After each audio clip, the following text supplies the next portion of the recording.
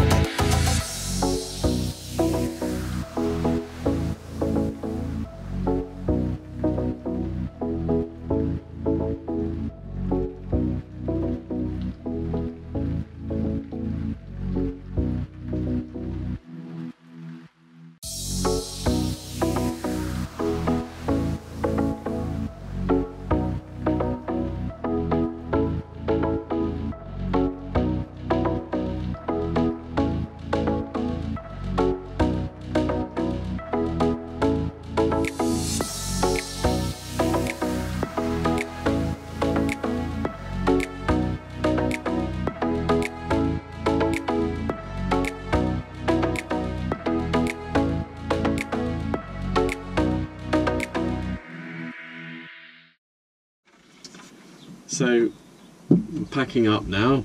That'll be me for the day. I um, got my water butt done. That's working nicely. Be even better if I get a couple more and I have one at the other end and then maybe a couple more in the middle so that they'll fill each other when they reach a certain level.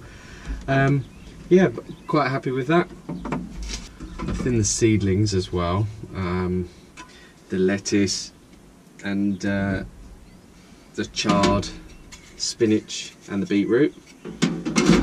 Learning my lesson because of the beetroot last year I didn't thin them enough and then I ended up with golf ball sized ones rather than tennis ball sized but hopefully like I said we learn our lesson and um, they come out a little bit bigger this year.